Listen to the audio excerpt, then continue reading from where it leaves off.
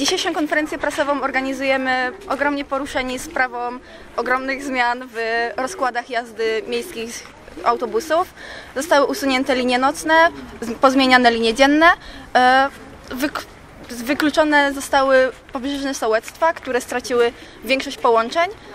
A mimo to powstają nowe centra przesiadkowe, nowe parkingi, e, stadion, na które przeznaczone są ogromne sumy, a szkoda jest pieniędzy na autobusy. E, Zaprzecza to polityce miasta, w którym nowo wybudowane centrum przesiadkowe traci na działaniu, a nowo zbudowane przystanki Opole Wschód zostały wyłączone z użytku, e, na które no właśnie miasto przeznaczyło spory budżet, a teraz są totalnie nieużyteczne. Stanowi to zaprzeczenie w stosunku do uchwały Rady Miasta z dnia 24 listopada 2022 roku w sprawie rozwoju transportu miejskiego.